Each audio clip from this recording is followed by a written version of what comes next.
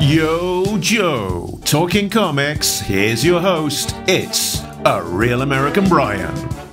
And it's G.I. Joe time.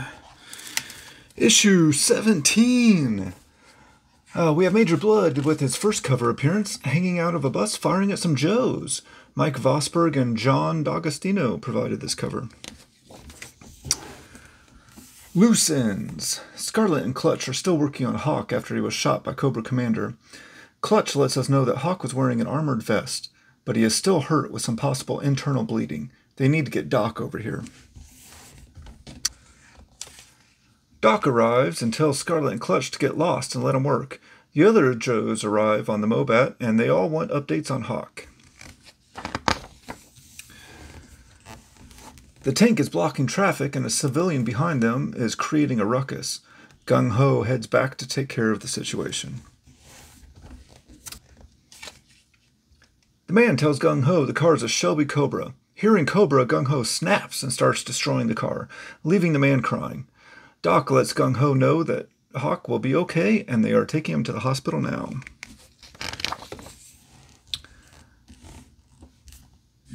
Zap, Grunt, Short Fuse, Rock and Roll, and Flash are in pursuit of the Cobra Hiss. Ace and the Sky Strikers offering the Joes and the APC some air support as they hunt down Cobra Commander. In the Hiss tank, Dr. Venom and Cobra Commander discuss the bad shape Destro is in, as he's still out of it after watching his love, the Baroness, die. Cobra Commander tells Destro that he didn't order Major Blood to kill him, a blatant lie, but goes on to say that Major Blood was also in love with Baroness and was trying to take Destro out so he would, didn't have to fight for her affection. After seeing her sacrifice for Destro, he decided he could never have her and left her to die. Destro be- believes all of this and is ready to hunt Major Blood. Ace spots the Hiss tank and radios down to Zap so he can alter his course and go after them. Back in the Miami jail, Snake Eyes and Kwinn are planning their escape. Kwinn has a saw blade hidden in, hidden in his boot, and Snake Eyes has a hundred dollar bill stashed away. Major Blood, who's stowed away in a produce truck, switches vehicles at a toll booth and gets on a bus, where he will have hostages. Pointing a gun at the driver is all it takes for him to follow orders, and we see this just happens to be the bus that Scarface took as well. Stalker and Grand Slam see the bus blow through the toll booth and then catch a glimpse of Major Blood and take off after it. Kwinn and Snake Eyes, fresh out of jail, approach a group of guys shooting dice. The men reluctantly let Kwinn and Snake Eyes into their game. They tell them the point of the game is Snake Eyes. Dr. Venom gets through to Cobra Central and reports that help is on the way. As Zap is getting closer to the Hiss tank target, a squadron of aircraft fly over him. The Cobras have sent three Fang helicopters, two jet fighters, and a transport helicopter. Ace is locked and loaded in the Sky Striker, ready to take out some Cobras. Major Blood is hanging out of the bus, shooting at Stalker and Grand Slam when they decide to pull up on his blind side. Grand Slam jumps off the bike onto the bus and crawls across the roof to the front of the bus. And there's a printing error in the G.I. Joe Classic trade paperback I'm reading from, as an earlier page got repeated. I'll put an image of the correct page in the video. Grand Slam smashes through the bus windshield, kicking Major Blood in the face. Major Blood notices Scarface just before Grand Slam pounces on him, continuing to beat the one eyed villain down. The Cobra jets head up to take care of the Sky Striker, and the attack helicopters focus on the G.I. Joe APC. Rock and Roll is able to shoot down both attack helicopters, but they see the transport helicopter pick up the hiss with Cobra Commander in it. Ace has both the Cobra jets in his sights. He is able to take one out, but gets damaged by the other jet. He has to fold his wings and head for the basement, but the Cobra jet is on his tail. Just as the Cobra gets him in his sights, Ace puts on the air brakes and lets him fly right by. A very Top Gun move, but this book came out a year and a half before Maverick would be doing that in theaters. Ace blows the Cobra jet out of the sky, but the Sky Striker is damaged and he has to limp it back to the pit. Cobra Commander got away. We see Kwinn and Snake Eyes did well in their little street gambling stunt and left with the man's car. Kwinn reveals they are on the way to Coney Island to look for Scarface, who knows how to get to Springfield, so they can find Dr. Venom and get revenge.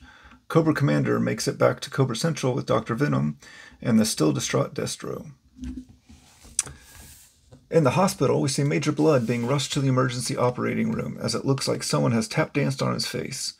The doctor refuses to let the Joes go into the room even after they explain he's a dangerous terrorist.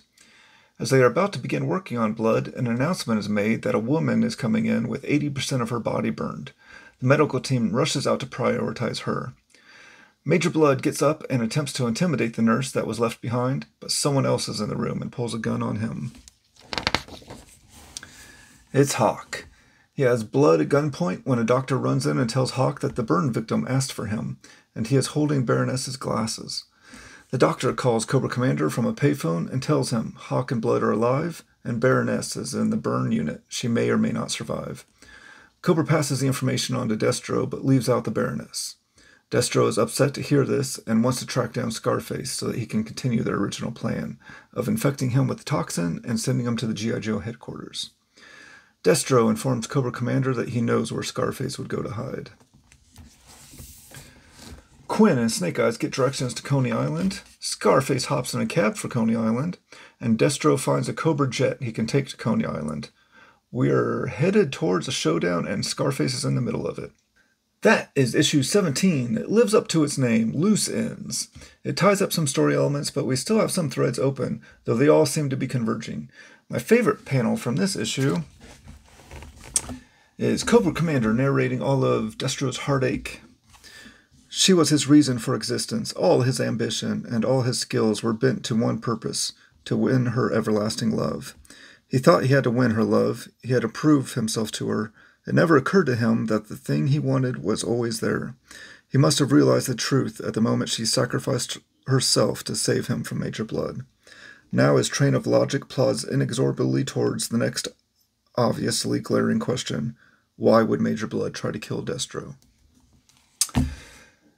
Wow, this was another exciting adventure as our ongoing story continues. I'm going to give this issue three and a half flag points as we seem to be uh, setting up for quite the showdown in the next one.